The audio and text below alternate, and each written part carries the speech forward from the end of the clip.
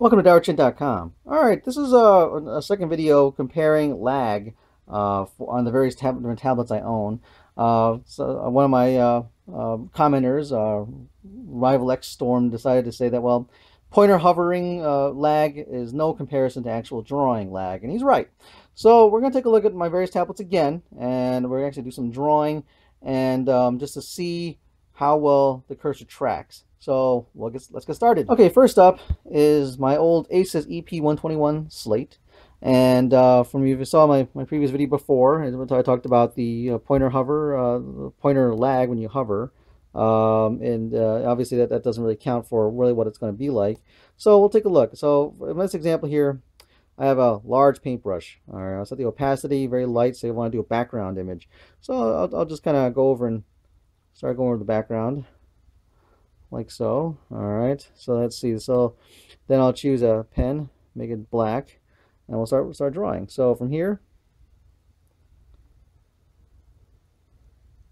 so this seems to track just fine for drawing. Uh, of course, I'm not doing a very good job of that, but just you know, just doodling here. Um, make a brand new image here. Let's not save this. So if I'm going to draw,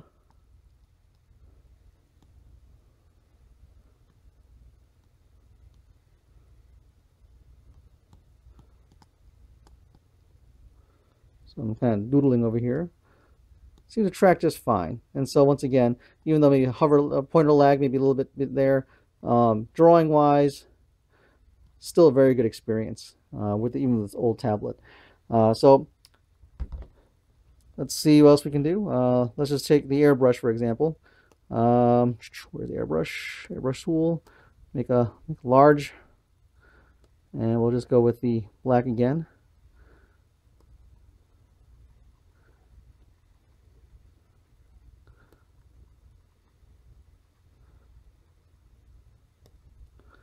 Uh, you take, uh, say, a paintbrush again. Choose a lighter color. Maybe how about, about a little bit of color there, a little reddish. Make the brush a little less big. Actually, that's not a good tool to use for that. Use the pen. Nope. Oh, pencil. Pencil's already a good one. So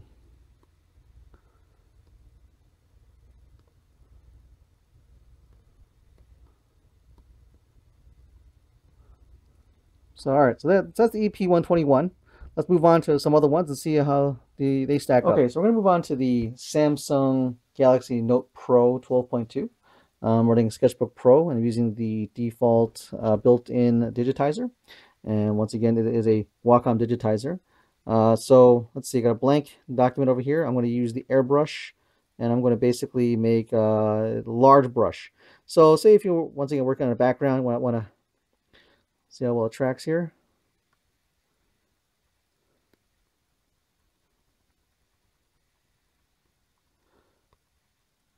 All right. Well, let's pick a different tool. Let's go with, uh, say, a um, pencil tool. Uh, we'll choose a different color. We'll just go with white, for example. So we'll just go on top of this.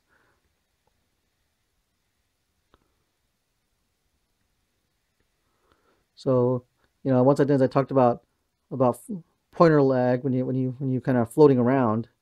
Uh, but you know, when it comes to drawing performance, it seems just fine if I'm going fast like this.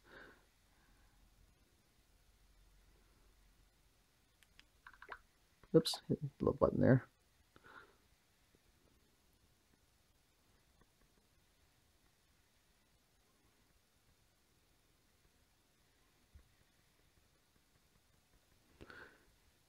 It takes a bit of getting used to if you're going to do like little thatching work, because sometimes it doesn't. It's you might might have a hard time keeping up with you on that small scale there, but you can see. To do some shapes here, if I don't touch the little button on the side there.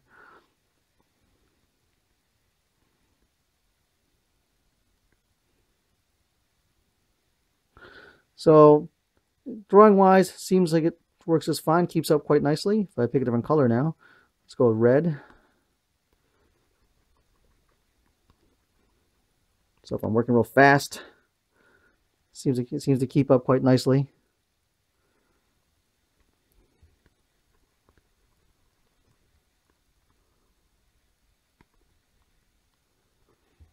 So there you have it. So that's a look at the drawings, drawing um, with the Samsung Galaxy Note Pro and how uh, the stylus keeps up with you when you uh, work with it. So we'll move on to the next one. Now we move on to my good old Surface Pro 1 uh, with its uh, with the, the, the stylus that came with it. Uh, so we'll take a look once again running Sketchbook Pro. Uh, we'll take a look at what, what this can do. Once again, here you know, here's the, the pointer lag I was showing you before, kind of flows around. Uh, so we'll take a look at, oops, I knew that. Oops, nope, done. That's uh the wrong option there. You you don't save. All right, so well again, so once again, we'll use the uh, say we'll use the airbrush tool, make a very large size brush, and we'll kind of down the down the opacity a little bit so we can get some some background work going maybe. So that's not dark enough. Let's see. Here we go. Let's, let's drop the darkness on that a lot more.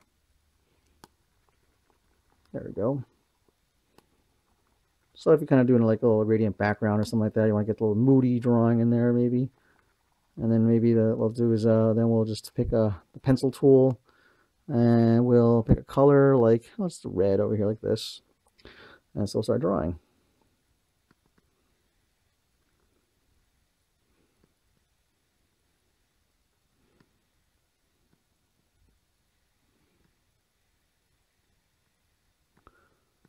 From my experience, honestly, the, the, the Samsungs are nice and all, but um, they sort of pale in comparison to, to drawing on on a, a Wacom on a Surface Pro 1. Uh, it's just a lot smoother experience. And maybe because of the software too. Uh, you know, the, the full feature software and the more powerful processor might make a difference.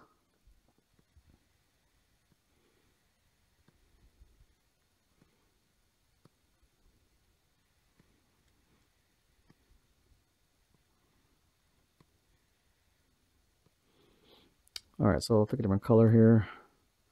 Go with blue. Let's pick a marker. Make the brush a little larger here. See how well it tracks.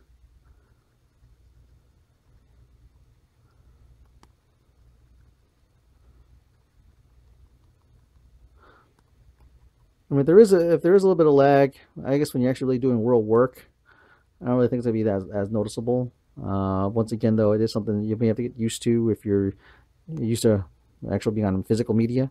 Uh, once again, uh, programs that are more heavy in in uh, real media type stuff, like maybe Art Rage, might have a little bit of problems if you go quicker. Well, I'll take a look and see if I if I could run that in a little bit and try that out. But um, as you can see, so the Surface Pro 1 does a fine job when it comes to drawing. Uh, this may be two years old now, but for this kind of task, it handles it just, just fine.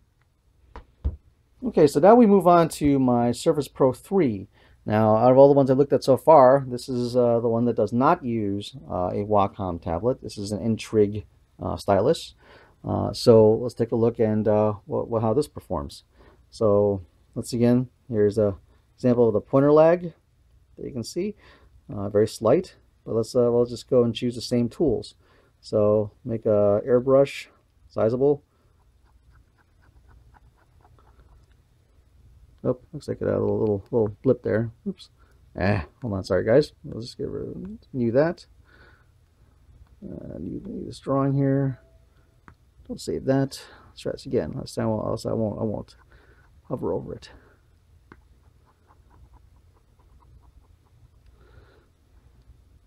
One thing that I'll have to say about the note the, the Surface Pro three when it comes to drawing is because um, the, so the, the software drivers that come with the don't give you a lot of um, custom customization. So you can't really right now say I want a harder press or lighter press uh, for drawing programs. It, it becomes a bit of a disadvantage sometimes because if you have a lighter touch, I normally have a lighter touch, so I got to press down really harder if I want to get a harder touch. So, all right, so we'll take a look at uh, some of the tools. We'll go back to the pencil tool. We'll choose uh, Let's see, this red color there. We'll take a look at how this is like.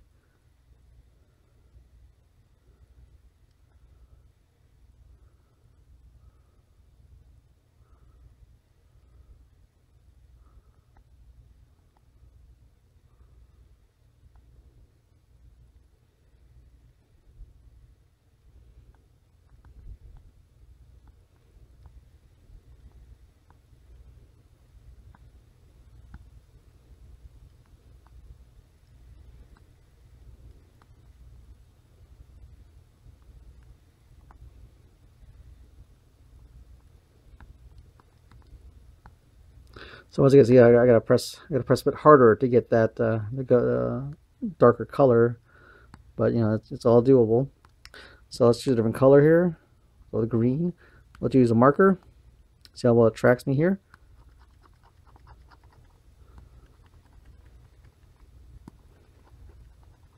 I'll go with with a blue color this time, see how that works.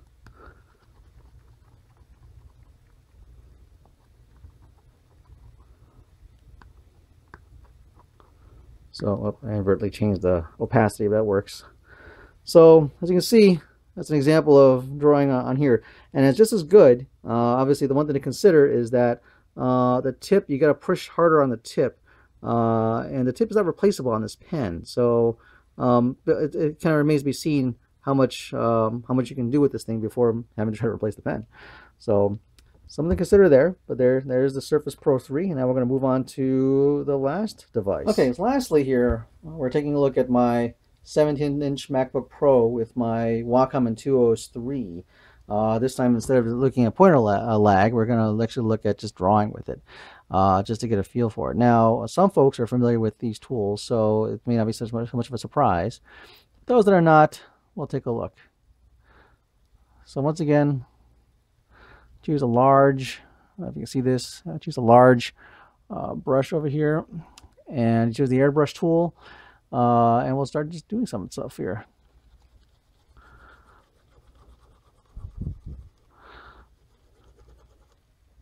Uh, change the uh, change the uh, opacity of this thing here. Where is it? There it is. Oh, oh, there. there it is. So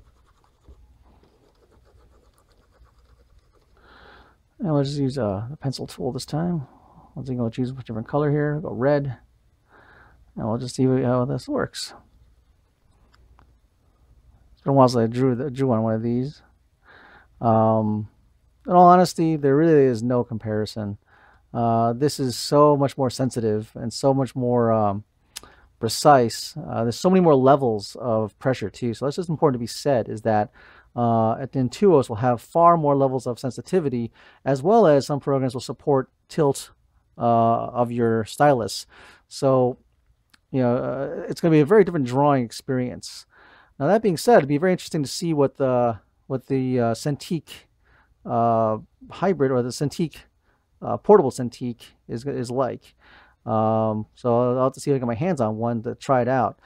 But as you can see, there, this is um, you know, this is a much very very smooth experience when it comes to drawing. You know the the it's hard to it's really hard to really compare using one of these versus going to a, tablet. So it kind of depends on, on, on the seriousness of, of, of how you want to draw, whether you want to, uh, if it's okay to sacrifice uh, portability for this kind of level of accuracy and level of pressure sensitivity that you get with an actual dedicated tablet. Uh, so something to consider when you when you're looking. And uh, you know, once again, it, it kind of depends on on the level of artwork you want to do, or if you're just a note taker, maybe you don't care about this level of of accuracy when you want to when when you're drawing things. But it's a very different experience using using uh, a dedicated tablet like this.